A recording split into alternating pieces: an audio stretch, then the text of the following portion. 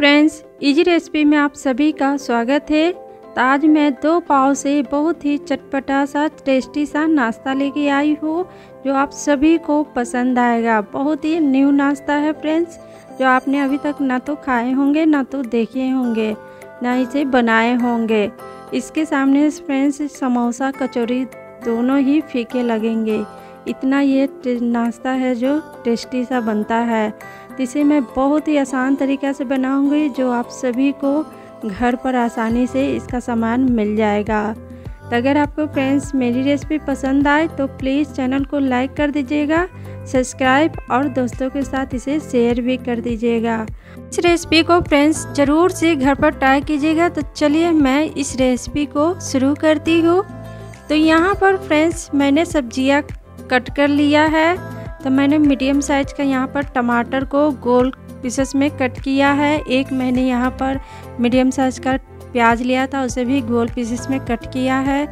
यहाँ पर मैंने एक बॉयल आलू लिया था, बड़े साइज़ का, उसे भी मैंने गोल पीसेस में कट किया है। और ये मैंने एक शिमला मिर्च लिया था, मीडियम साइज़ का, उसे भी गोल पीसेस में कट किया है। आप चाहे तो इस रेसिपी में अपने मनपसंद सब्ज़ी भी डाल सकते हैं।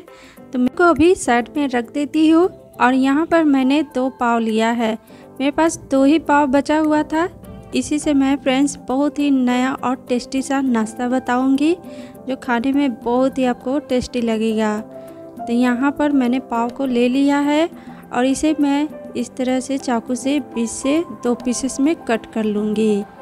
ये देखिए फ्रेंड्स बिल्कुल इस तरह से इसे कट करना है। ये देखिए, इसे मैं रख देती हूँ। और दूसरा पाव को भी सेम तरीका से इसी तरीका से कट करना है। ये देखिए, इसे भी मैंने ले लिया है और इसे भी मैं धीरे धीरे इस तरह से कट कर लेती हूँ। ये देखिए, इसे अभी मैं प्लेट में रख देती हूँ। तो जब भी पाव को काटते हैं फ्रेंड्स तो हल्के चाकू से काटना है, क्योंकि पाव है जो बहुत ही नरम होता है। थोड़ा भी इस पर दबाव डालिएगा तो ये टूट सकता है। तब मैं इसका मसाला रेडी कर लेती हूँ। इसके लिए मैंने यहाँ पर एक कप बेसन लिया है।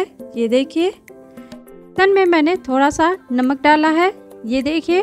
अब मैं डालूँगी थोड़ा सा इसमें हल्दी। सिर्फ़ मैंने कलर के लिए डाला है। ये देखिए। तो इसमें मैं डालूँगी थोड़ा सा बिल्कुल ही भुंजा हुआ मसाला। ये देखिए। तो इसका मैंने फ्रेंड्स, मैंने रेसिपी में डाल रखा है। आप वहाँ से चाहे तो ये भुंजा हुआ मसाला को देख सकते हैं। तब मैं थोड़ा थोड़ा पानी डालकर इसे घोल को रेडी कर लेती हूँ। एक बार में नहीं डालिएगा फ्रेंड्स थोड़ा थोड़ा करके पानी को डालना है और मिलाते जाना है। तो घोल को ज़्यादा गाढ़ा भी नहीं रखना है और ना ज़्यादा पतला रखना है, बिल्कुल इसे मीडियम रखना है। ये देखिए, बिल्कुल इस तरह का घोल तैयार करना है। बिल्कुल ही रेडी हो गया है फ्रेंड्स तो मैं अभी इसे साइड में रख देती हूँ। और यहाँ पर मैंने गैस पर फ्राई पैन रखा है। इसमें मैंने दो चम्मच तेल डाला है। तेल को मैं इस तरह से घुमाते हुए फैला देती हूँ। ये देखिए। तो तेल है जो गर्म हो गया है तो मैंने जो बेसन का घोल रेडी किया है, इसमें एक कलछुल मैं डाल देती हूँ और इसे इस तरह से फैला देती हूँ। फ्रेंड्स, मैं आधा कलछुल और घोल को डाल देती हूँ और हल्के कलछुल से इस तरह से घुमाते हुए फैला देती हूँ। तो इसे ज़्यादा आपको न मोटा रखना है, न ज़्यादा इसे पतला करना है। ये देखिए तो यहाँ पर मैंने गैस को भी बंद कर दिया है और ऊपर से बारीक कटा हुआ सब्जियों को मैं डाल देती हूँ। तो सब्जियों को डालते वक्त ध्यान रखिएगा कि हल्के हाथे से इसे दाबते हुए रखना है, ताकि सब्ज़ी सब है जो बाहर ना निकले। तो सारे सब्जियों को मैंने इसी तरह से डाल दिया है। फ्रेंड्स, मैंने थोड़ा सा नमक डाला है। थोड़ा सा मैंने यहाँ पर मिक्स किया हुआ गोलकी जीरा का पाउडर डाला है और थोड़ा सा फ्रेंड्स मैंने ऊपर से चिली फ्लेक्स डाला है। अगर आपके पास है तो डालिएगा, नहीं है तो उसके जगह आप लाल मिर्च का पाउडर ऊपर से हल्का सा डाल दीजिए। अब मैं पाव को इस तरह से रख देती हूँ। ये देखिए। यहाँ पर मैंने सारे पाव को रख दिया है। मैंने जो बेसन का घोल रेडी किया है तो मैंने आधा डाला था, आधा मैंने रख लिया था। तो ऊपर से मैं पाव को ऊपर से इस तरह से गिराते जाऊँगी। तो इसे बिल्कुल ही बेसन का घोल से कवर कर देना है। ये देखिए फ्रेंड्स तो यहाँ पर मैंने सारे बेसन का जो घोल था, सारे मैंने डाल दिया है। गैस को ऑन कर दिया है और यहाँ पर मैंने गैस को बिल्कुल ही कम ही रखा है। कम गैस पर इसे पाँच मिनट तक पका लेती हूँ।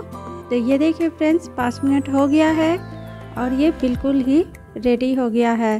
तो इसे मैं पलटूँगी नहीं थोड़ा थोड़ा हल्का हल्का इस तरह से छलनी से कट कर लेती हूँ।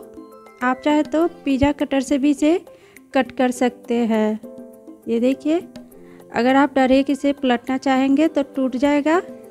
पर मैंने फ्रेंड्स, पाव को चार पीसेस में कट कर लिया है। ये देखिए तो मैं ऊपर से हल्का सा तेल डाल देती हूँ, जिससे ये नीचे से बिल्कुल ही पेन है जो छोड़ देगा। पलटने में आपको कोई भी दिक्कत नहीं होगा, बिल्कुल भी ये चिपकेगा नहीं। तब मैं आपको पलट के भी दिखा देती हूँ। ये देखिए फ्रेंड्स, बिल्कुल ही आसानी से ये पेन को छोड़ देता है। इसी तरह से सभी को मैं पलट लेती हूँ। ये देखिए तो यहाँ पर मैंने सारे पाव को पलट दिया है। पाव को ऊपर से मैं डालूँगी फ्रेंड्स अब थोड़ा सा चीज़।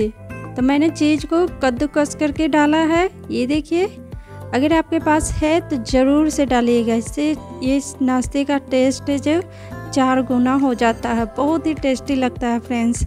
अगर नहीं है तो कोई बात नहीं, आप इसे ऐसे भी बनाकर खा सकते हैं। ऐसे भी ये बहुत ही टेस्टी लगेगा। तो ऊपर से थोड़ा सा मैंने चिली फ्लेक्स डाल दिया है। अब ये बिल्कुल ही रेडी हो गया है। गैस को मैंने बंद कर दिया है। तो मैं आपको फ्रेंड्स सब करके दिखाती हूँ। तो यहाँ नाश्ते को फ्रेंड्स आप चाहे तो अपने मनपसंद चटनी हो या सॉस हो किसी के साथ सर्व कर सकते हैं। बहुत ही खाने में टेस्टी लगेगा। मेरे घर में तो सभी को पसंद है। हम लोग तो ऐसे ही इस नाश्ते को खा लेते हैं। बहुत ही टेस्टी लगता है खास करके मेरी बेटी को। उसे तो मैं लंच में भी दे देती हूँ तो वो सारा ही फिनिश करके आती है। उसे बहुत ही पसंद है। तो फ्रेंड्स आप भी इस रेसिपी को घर पर मेरे तरीके से ज़रूर से ट्राई कीजिएगा। और ये देखिए फ्रेंड्स तोड़ने के बाद इसका टेक्सचर कितना अच्छा दिख रहा है। और खाने में तो और भी ये लाजवाब है। नाश्ते के सामने फ्रेंड्स, समोसा, कचौड़ी दोनों ही आपको फीके लगेंगे।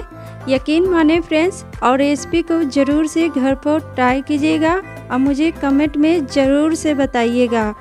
तो उम्मीद करते हूँ फ्रेंड्स कि आज की रेसिपी मेरी आपको बहुत ही पसंद आया होगा। तो अगर आपको मेरी रेसिपी पसंद आए तो प्लीज़ चैनल को सब्सक्राइब कीजिएगा, लाइक कीजिएगा और दोस्तों के साथ शेयर करना बिल्कुल भी ना भूलिएगा। इसी तरह से मैं नए नए रेसिपी लेके आती रहूँगी और आप सभी के साथ इस रेसिपी को शेयर भी करते रहूँगी। फिर मैं मिलूँगी नई रेसिपी के साथ। तब तक के लिए बाय बाय